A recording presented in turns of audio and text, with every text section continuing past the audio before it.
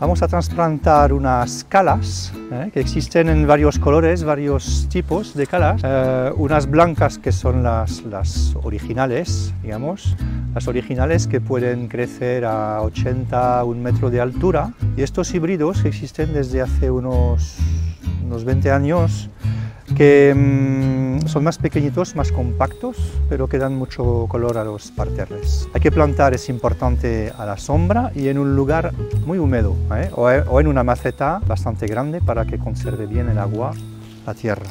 ¿eh? Entonces, como ¿eh? tapamos el agujero con un, con un trozo de piedra, tapamos el agujero para que no salga la tierra de la maceta, plantamos en una buena tierra, una tierra para plantas de flor, que favorece la floración de, las plantas. ¿eh? Esto es. Ponemos un poco de tierra al fondo, a escoger este, por ejemplo. Sacamos las raíces. Aquí vemos bien las raíces que se han enredado así al fondo de la maceta. Entonces, con un cuchillo cortamos para favorecer la ramificación, su ramificación, sin, sin romper el cepellón sobre todo. ¿eh?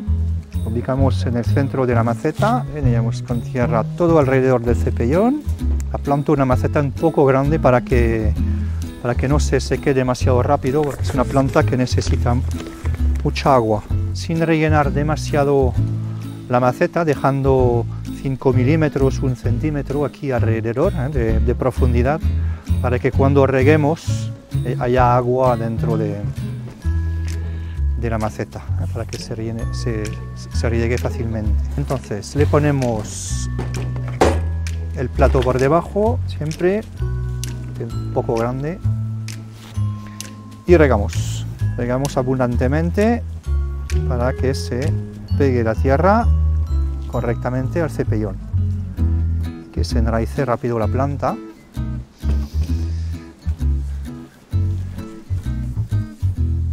Ya está, así tenemos, aquí tenemos la cala plantada para que crezca.